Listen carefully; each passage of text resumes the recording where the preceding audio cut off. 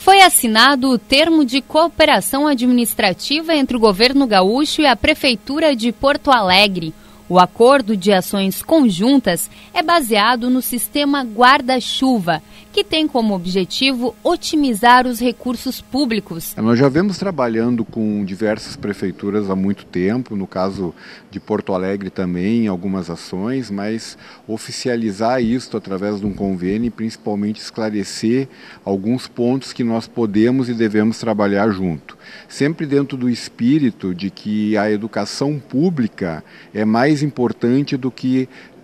entrarmos no detalhe se é uma escola do município ou do estado. Então, tanto a cedência de professores do município para o estado quanto do estado para o município, também o uso compartilhado eh, de algumas escolas, em alguns casos até mesmo a utilização pela prefeitura para educação infantil, que ainda há uma necessidade grande de vagas, assim como também o uso do nosso software de transporte escolar aqui na ilhas, nas ilhas de Porto Alegre do Guaíba, temos o transporte escolar e também temos a necessidade e a possibilidade de uso em conjunto. Isso vai ao encontro de um espírito defendido pelo governador, de buscarmos a parceria, independente de serem com instituições privadas ou públicas, e com isso consolidamos mais uma etapa nessas parcerias, no caso agora com a Prefeitura de Porto Alegre. O vice-prefeito de Porto Alegre, Gustavo Paim, destacou a importância da união entre os governos estadual e municipal. Então é um acordo de cooperação que busca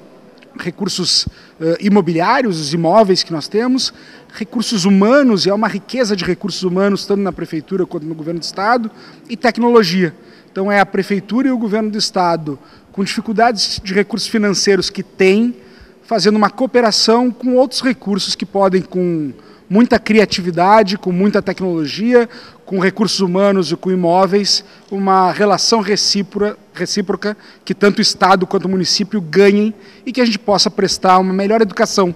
pública municipal e estadual.